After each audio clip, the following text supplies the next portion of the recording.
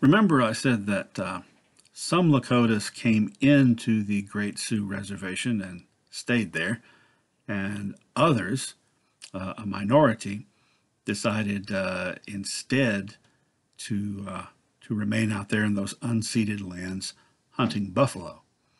Well, uh, roughly about two thirds, about two thirds of them uh, went in there to the to the Great Sioux uh, Reservation, which was divided into uh, three agencies. You, an agency was the uh, basically the uh, the government set up to distribute annuities and to do administration and so forth. There was the Red Cloud Agency, the Spotted Tail Agency, both named for their leaders, um, with the uh, Red Tail Agency having the uh, mostly Oglalas and the uh, uh, Spotted Tail Agency having mostly the Brule. And then most of the others were located, uh, well, the uh, um, the Hunkpapa were um, eventually located in the area that's now the Standing Rock Reservation.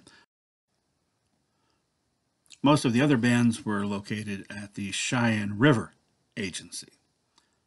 Well, in May of 1875, the principal representatives from the bands that were at each of those three agencies traveled to Washington, D.C.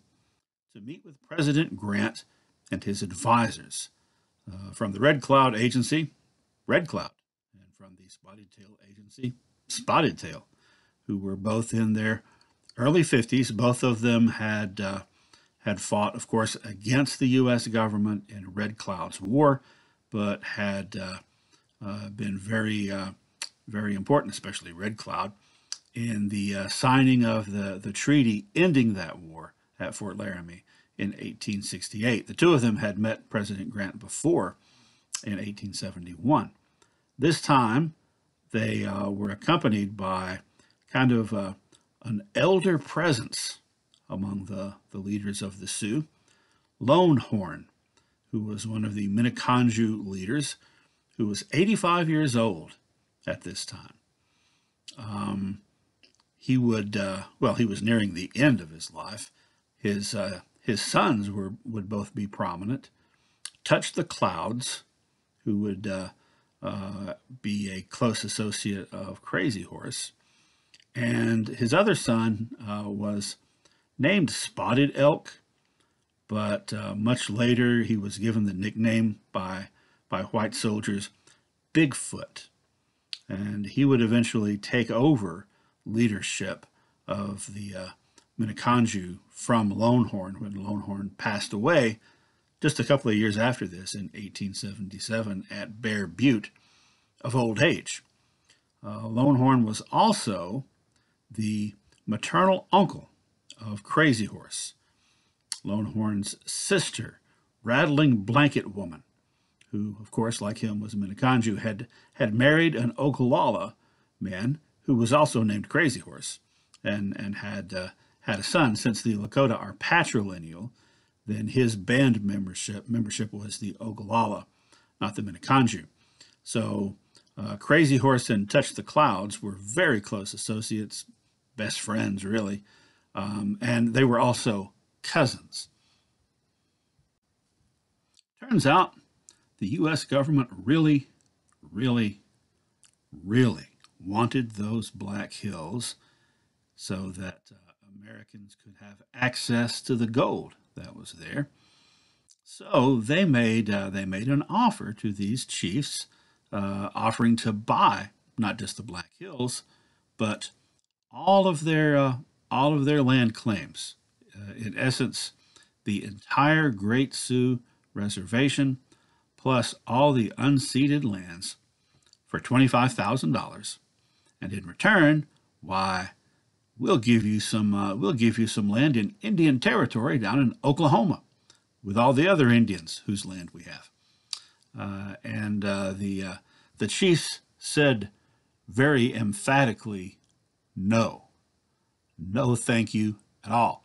Um, in fact, Spotted Tail said, You speak of another country, but it is not my country.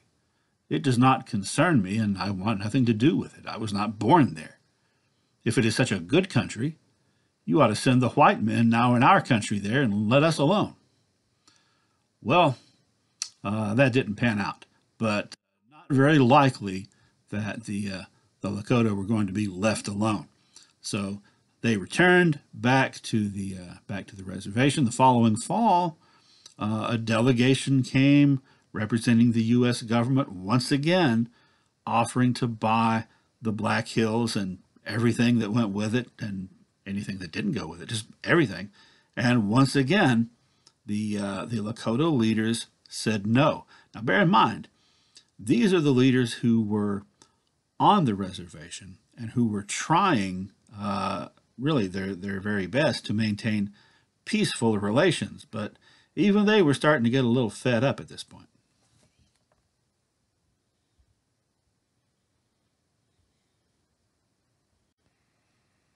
As one of the chiefs pointed out when the government representatives were pressuring them yet again to sell their land, you guaranteed them to us forever, just seven years ago.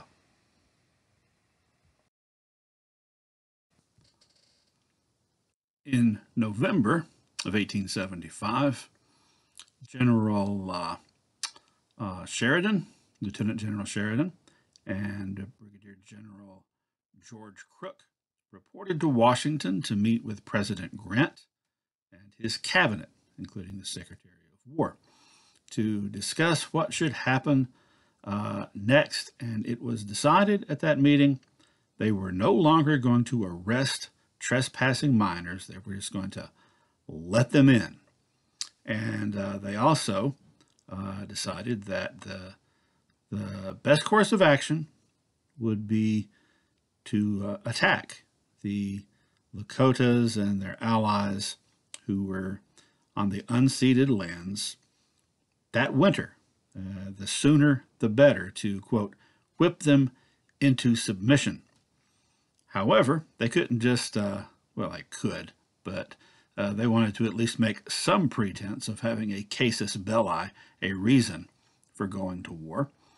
So they sent, uh, sent a message to the uh, uh, government agents at the various Indian agencies on the Great Sioux Reservation, telling them that the negotiations of the uh, previous month had been essentially um, undoable uh, because everyone wasn't there. All the uh, all the chiefs had not come onto the reservation for the negotiations.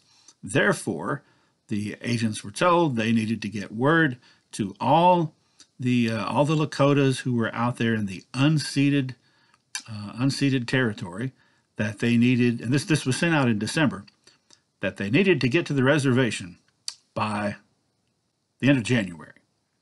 Now, this was uh, this was a tall order because winter was well underway, and winters are pretty rough up there in the northern plains. In fact, the uh, government representative at the Standing Rock Agency complained.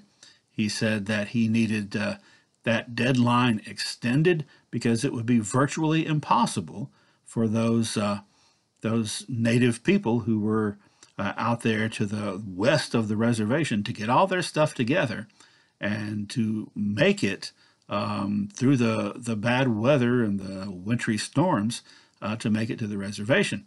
Uh, and he was told that uh, no, no such deadline would uh, uh, deadline extension would be allowed.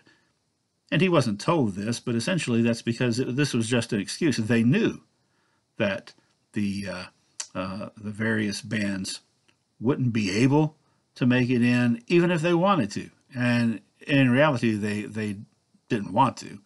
Uh, some of them some of them thought about it, um, and in fact had decided, well, you know, as soon as the weather gets better, we'll go do that.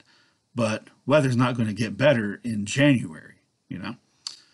So um, when that deadline came and went, and Sitting Bull and the other uh, various leaders who were out there in the uh, unceded lands had not shown up, then the Commissioner of, of Indian Affairs, John Smith, wrote that, uh, quote, without the receipt of any news of Sitting Bull's submission, I see no reason why, in the discretion of the Honorable Secretary of War, military operations against him should not commence at once.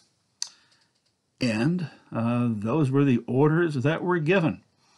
Um, it came down the line to General Sheridan, Lieutenant General Sheridan, uh, on February 8th, a little over a week after the deadline had passed. He telegraphed Brigadier Generals Crook and Terry under his command to begin their winter campaign against, quote, the hostiles. And so they did. And the Great Sioux War was on.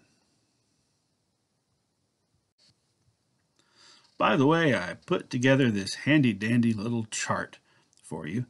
Um, I'll be doing the same thing for the other side, just so you can uh, keep straight who's who, particularly um, these uh, next few next few minutes in, in this lecture. But any extra reading you ever want to do about uh, Custer and the Great Sioux War and Sitting Bull, you're going to come across these names, a whole bunch of different generals and colonels, kind of hard to keep straight especially since all the colonels used to be generals in the Civil War, and most of the colonels will be generals again. Uh, so it can be a little confusing. So I've got kind of a chain of command here, and I even went so far to help you out in case you don't know your military ranks, to have the stars there for the generals so you can tell, you know, uh, who is starrier than the others. Um, by the way, the two colonels, two of the colonels on the bottom, Ranald Mackenzie, good old bad hand that we've already talked about, and Nelson Miles, um, both of whom were called up after having uh, just spent the last couple of years fighting Comanches and Kiowas in the southern plains. Uh, both of them, uh, both these guys, were in competition to see who would get promoted to brigadier general first. And uh, the joke always was that even though Mackenzie was probably, you know, the uh, the most capable colonel, the most capable regimental commander out there, Miles had better connections and was almost surely going to get promoted first. And so uh, people used to say that Mackenzie has Miles between him and his star. All right, well, uh, William Tecumseh Sherman, right up there at the top, general, four stars, full general in command of the entire U.S. Army, Philip Sheridan, three star general in command of the Department of the West. Now, once this war gets started, the uh, plan, the strategy is going to be to have three different columns led by each of these three guys in the middle row Brigadier Generals Crook and Terry and Colonel Gibbon. Um, Joshua, I'm sorry, not Joshua, Joseph, Joseph Reynolds and Ranald Mackenzie, uh, both cavalry uh, regimental commanders serving under Crook. Um, George Armstrong Custer, lieutenant colonel, uh, serves under Terry, so he's part of Terry's column. Nelson Miles gets called in um, partway into this war to replace a General Custer. I'm sorry, not General Custer anymore, he's a colonel. Uh, to replace Custer Spoiler alert, Custer is going to need to be replaced.